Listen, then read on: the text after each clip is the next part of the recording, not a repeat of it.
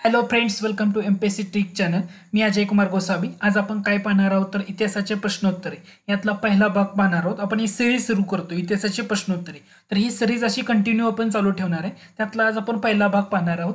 तो भाग पाहण्यापूर्वी तुम्ही जर माझ्या चॅनलला सबस्क्राईब केलं नसेल तर जरूर सबस्क्राईब करा. म्हणजे जेव्हा काही नवीन अपडेट माझ्याकडून येईल तेव्हा तुम्हाला त्याचं नोटिफिकेशन भेटत राहील. तर आज आपण काय करूया की आपल्या लेसनला सुरुवात करूया.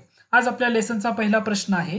तो म्हणजे अठराशे पासष्ट साली लंडनमध्ये दादाबाई नवरोजी आणि उमेशचंद्र बॅनर्जी यांनी लंडन इंडियन सोसायटीची स्थापना केली. एक वर्षानंतर या सोसायटीचं रूपांतर टिंबटिंबमध्ये झालं. पहिला ऑप्शन आहे ईस्ट इंडिया असोसिएशन दुसरा ऑप्शन आहे ब्रिटिश इंडिया असोसिएशन तिसरा ऑप्शन आहे लंडन इंडिया असोसिएशन आणि चौथा ऑप्शन आहे इंडियन असोसिएशन तर याचं जे अचूक उत्तर आहे तर त्याचं उत्तर आहे ईस्ट इंडियन असोसिएशन म्हणजे तुम्ही लक्षात घ्या. अठराशे पासष्ट साली पहिल्यांदा लंडन इंडियन सोसायटी स्थापन झाली लंडनमध्ये. कोणी स्थापन केली? दादाबाई नवरोजी आणि उमेशचंद्र बॅनर्जी. मात्र त्या लंडन इंडियन सोसायटीचं रूपांतर लंडन इंडियन असोसिएशनमध्ये झालेलं नाहीये. तर त्याचं रूपांतर ईस्ट इंडिया असोसिएशनमध्ये झाले तर हा एक महत्त्वाचा पॉईंट आहे हे तुम्ही जरूर लक्षात ठेवा. मग आता माझा प्रश्न असा असेल की ईस्ट इंडिया असोसिएशनची स्थापना कधी आहे? तर ती अठराशे सहासष्ट साली कारण अठराशे पासष्ट साली लंडन इंडियन सोसायटीचं रूपांतर अठराशे सहासष्टमध्ये ईस्ट इंडिया असोसिएशन झालेलं आहे. त्यामुळे ह्या पॉईंट जरूर लक्षात ठेवा. फसायचं नाही ऑप्शनमध्ये त्यानंतर आपला पुढ मग आता ईस्ट इंडिया असोसिएशनबद्दल जर थोडंसं माहिती आपण घेतली तर याच्यामध्ये जर जे सदस्य होते ते सेवानिवृत्त इंग्रज अधिकारी होते. ॲक्च्युली ईस्ट इंडिया असोसिएशननं ज्या लंडनमध्ये स्थापन झाले होतं तर त्यांनी त्यांच्या शाखा मुंबई मद्रास आणि कलकत्ता या ठिकाणी सुद्धा स्थापन केल्या होत्या. ही संस्था अठराशे चौऱ्याऐंशी पर्यंत चांगली जोमानं कार्य करत होती. मात्र अठराशे चौऱ्याऐंशी नंतर हळूहळू काँग्रेसची स्थापनेचा जो पहिली पार्श्वभूमी तयार होत होती त्यामुळे ब्रिटिशांची सहानुभूती या संस्थेला कमी होत गेली आणि ही संस्था हळूहळू प्रभावी त्याचा कमी कमी होत गेलेला आहे. त्यामुळे ईस्ट इंडिया असोसिएशन हे तुम्ही जरूर लक्षात ठेवा. त्याचं अगोदरचं संस्थेचं रूपांतर होतं ते ईस्ट लंडन इंडिया सोसायटी तर हे एक महत्वाचं आहे. त्यानंतर आपला पुढचा प्रश्न आहे तो म्हणजे सव्वीस जुलै अठराशे पंच्याहत्तर रोजी सुरेंद्रनाथ बॅनर्जी यांनी इंडियन असोसिएशन नावाची संस्था स्थापन केली. तर या संस्थेचा मुख्य उद्देश कोणता होता? पहिला ऑप्शन आहे मध्यम वर्गातील लोकांच्या विचारांचे प्रतिनिधित्व करणे. दुसरा ऑप्शन आहे सार्वजनिक कार्यात भाग घेणे. तिसरा ऑप्शन आहे वरीलपैकी दोन्ही. चौथा ऑप्शन आहे कोणतेही नाही. तर या प्रश्नाचं जे अचूक उत्तर आहे ते पर्याय तीन.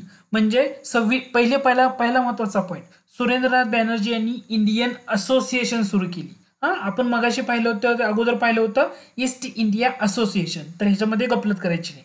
तर इंडियन असोसिएशनची स्थापना कुणी केलेली आहे? तर सुरेंद्रनाथ बॅनर्जीनं. कधी केलेले आहे? सव्वीस जुलै अठराशे पंच्याहत्तर. तर याचा उद्देश दोन होता. पहिला महत्त्वाचा म्हणजे मध्यम वर्गातील लोकांचं प्रतिनिधित्व करणं. दुसरा भाग होता की सार्वजनिक कार्यामध्ये भाग घेणं. सुरेंद्रनाथ बॅनर्जी जेव्हा अठराशे पंच्याऐंशी साली काँग्रेसची स्थापना झाली तर तिथल्या अधिवेशनाला हजर राहू शकलेले नव्हते. त्यामुळे हाही पॉईंट तुम्ही जाता जाता लक्षात ठेवू शकता.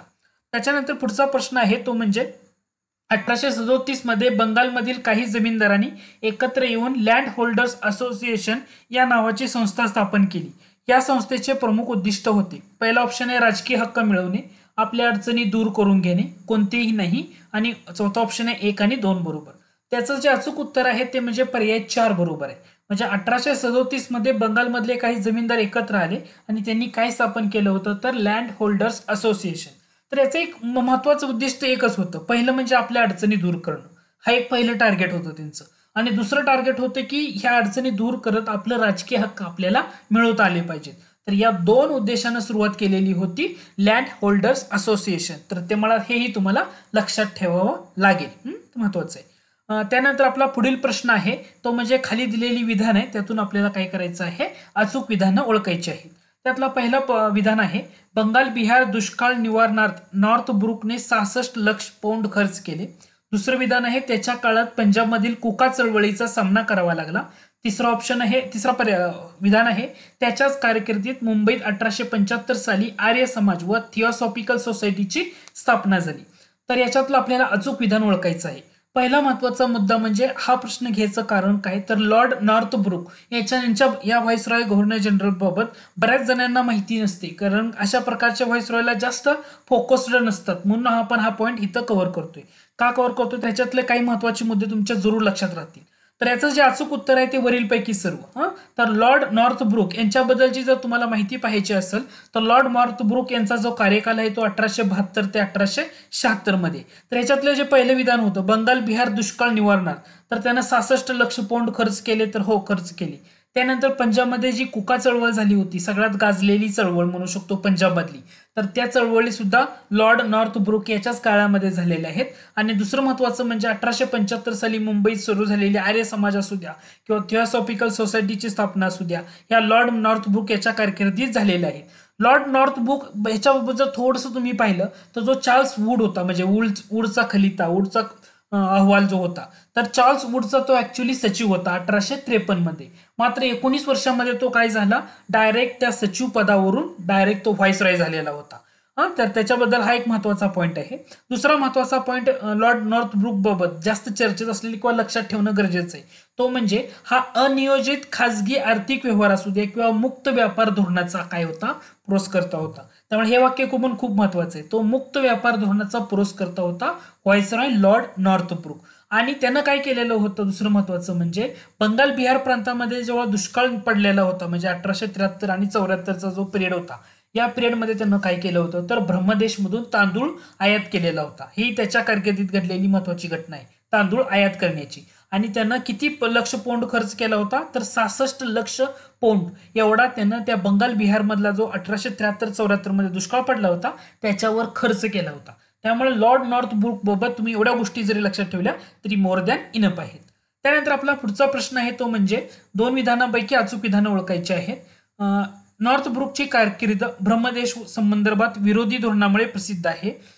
दुसरा विधान आहे इंग्लंड सत्ताधीशांच्या मतभेदामुळे एक वर्ष आधी मुदतपूर्व राजीनामा दिला. हा लॉर्ड नॉर्थ ब्रुक तर याच्यातलं जे अचूक विधान आपल्याला ओळखायचं आहे तर याचं जे अचूक विधान आहे ते फक्त विधान दोन बरोबर आहे. का असं? तर लॉर्ड नॉर्थ ब्रुक हा ऍक्च्युली ब्रह्मदेशमधून त्यांना तांदूळ आयात केला होता हे एक तुम्ही लक्षात घ्या.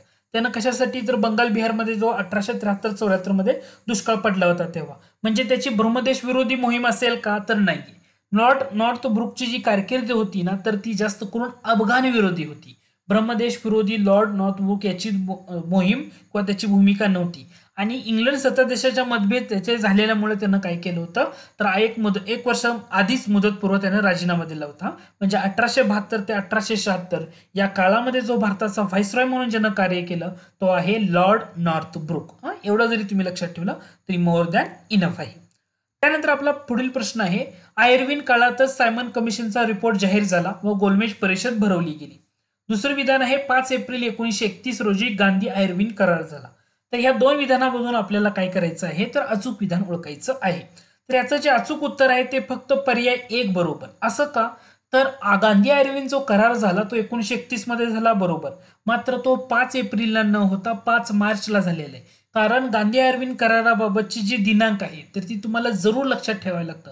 बऱ्याच वेळा कसं होतं की घटना कालानुक्रमाने लावा. अशामध्ये ना ह्या गांधी अरविंद कराराचा समावेश असतो. त्यामुळे तेव्हा तुम्हाला तिथं पाच मार्च एकोणीशे एकतीस हे जरूर लक्षात ठेवणं गरजेचं आहे. आणि ही दिनांक पण खूप महत्वाची आहे म्हणून हा प्रश्न घेतलेला आहे. म्हणजे आयर्विन काळामध्ये जो सायमन कमिशनचा रिपोर्ट जाहीर झाला होता परत गोलमेज परिषद भरवली गेली याचा इतिहास आपल्याला माहीत आहे.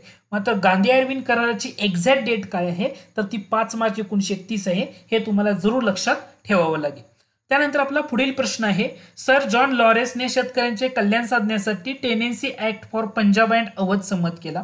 दुसरं विधान आहे अठराशे अडुसष्टमध्ये पंजाब अवधसाठी कुळ कायदा लागू केला. तर या दोन विधानामधून आपल्याला काय करायचं आहे? तर अचूक विधान ओळखायचं आहे. तर या प्रश्नाचं जे अचूक उत्तर आहे ते म्हणजे दोन्ही बरोबर.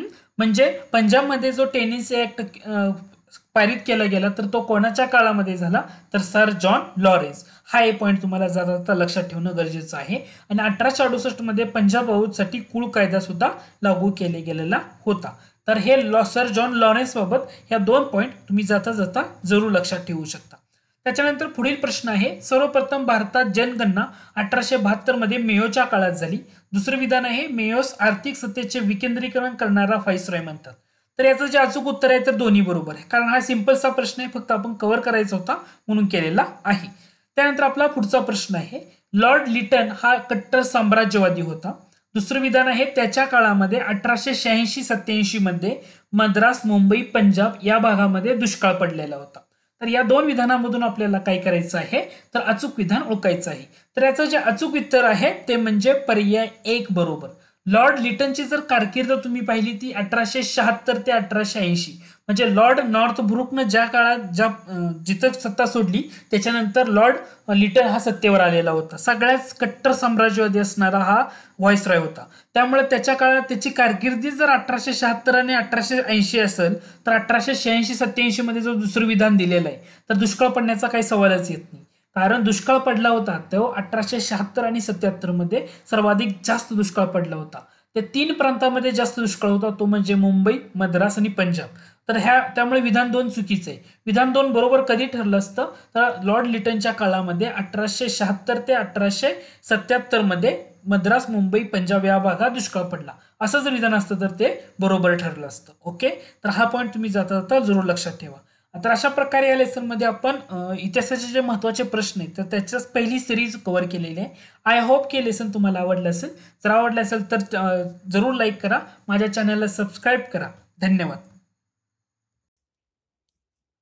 Hello friends welcome to M P C trick channel मी अजय कुमार गोसावी. आज आपण इतिहास प्रश्नोत्तराची सिरीज सुरू करतोय. याचा उपयोग तुम्हाला कोणत्याही प्रकारची स्पर्धा परीक्षा असू द्या.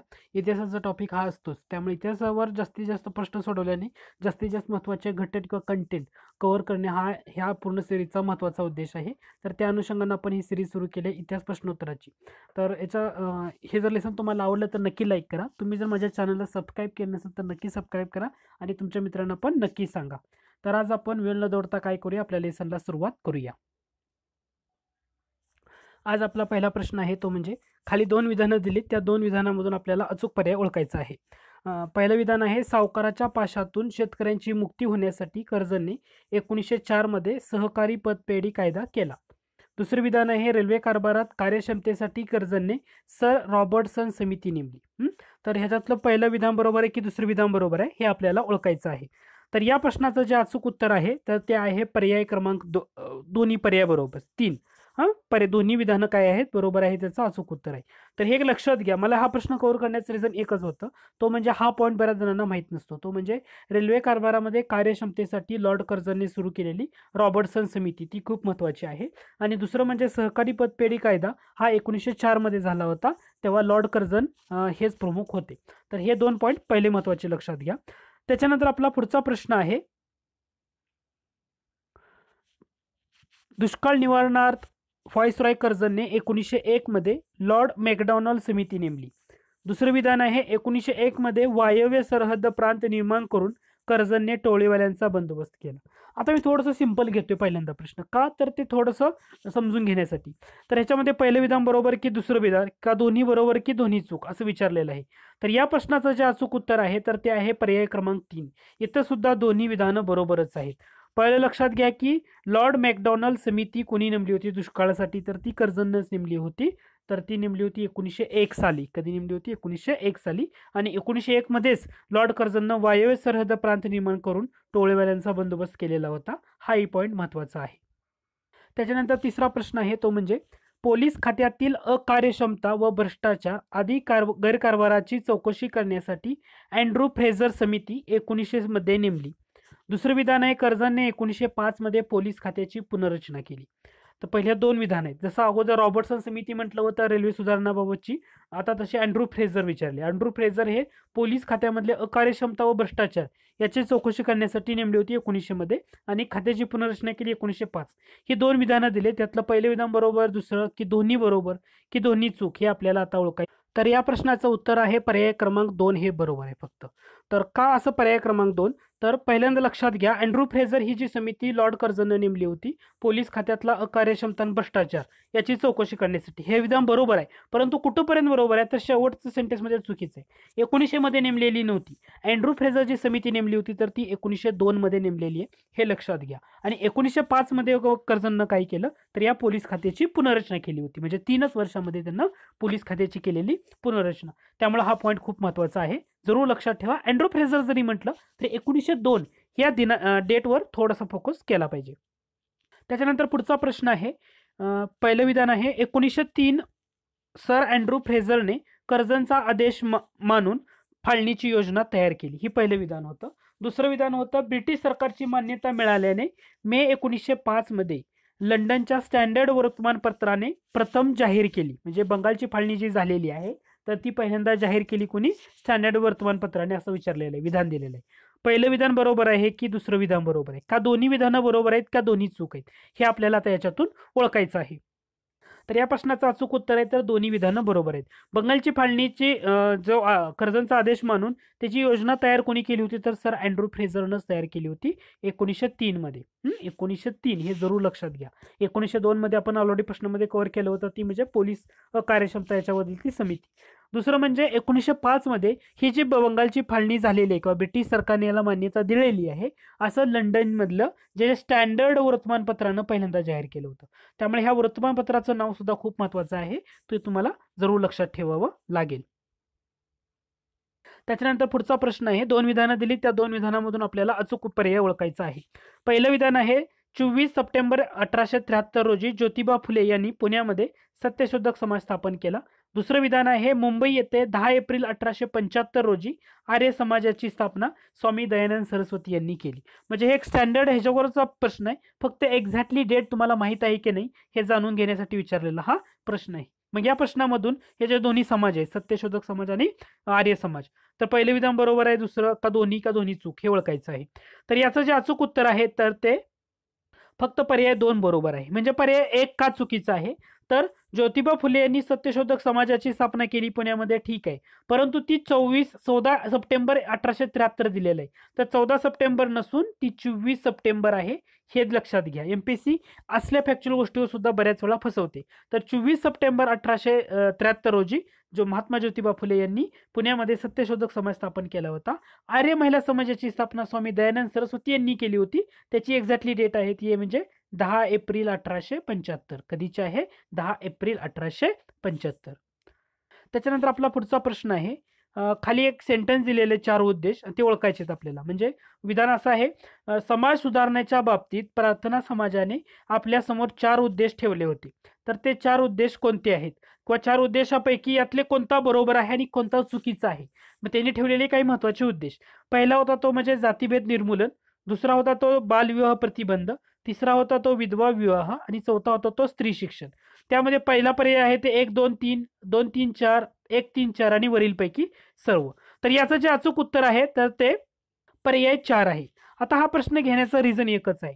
प्रार्थना समाजानं कशासाठी स्थापना केली होती? प्रार्थना समाजाची. तर जो समाज सुधारणा करणं हे एकच उद्दिष्ट टार्गेट ठेवलं होतं. आणि त्याच्यासाठी काही महत्त्वाचे चार टार्गेट ठेवले होते उद्देश ठेवले होते. त्याच्यामध्ये पहिलं होतं ते म्हणजे जातीभेद निर्मूलन करणं. दुसरं होतं ते अचूक उत्तरेवरीलपैकी सर्व आहे ना. त्यामुळं जातीभेद निर्मूलन हे पहिलं उद्दिष्ट होतं. दुसरं होतं बालविवाह प्रतिबंध. हे सुद्धा प्रार्थना समाजाचं महत्त्वाचं उद्देश होतं.